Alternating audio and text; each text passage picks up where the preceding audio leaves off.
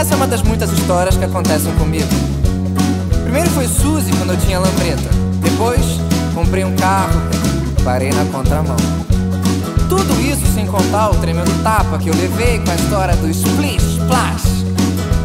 Mas essa história também é interessante.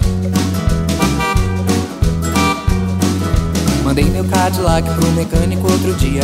Pois há muito tempo um conserto ele pedia. Como vou viver sem um carango pra correr meu Cadillac? Bip, bip, quero consertar meu Cadillac. Bip, dubi, dubi, dubi. Com muita paciência um rapaz me ofereceu. Um carro todo velho que por lá apareceu. Enquanto o Cadillac consertava eu usava o Calhambeck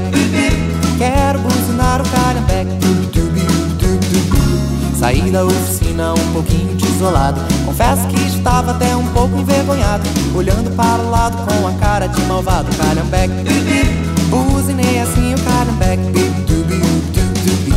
E logo uma garota fez sinal para eu parar. E no meu Calhambeck fez questão de passear. Não sei o que pensei, mas eu não acreditei que o Calhambeck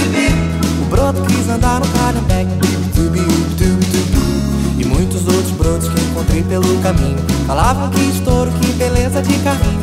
E fui me acostumando e do caramba fui gostando. Do Calhambeck Quero conservar o Calhambeck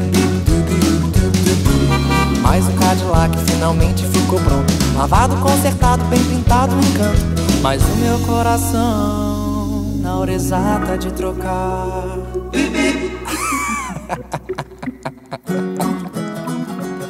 O Calhambeck Meu coração ficou com o Calhambeck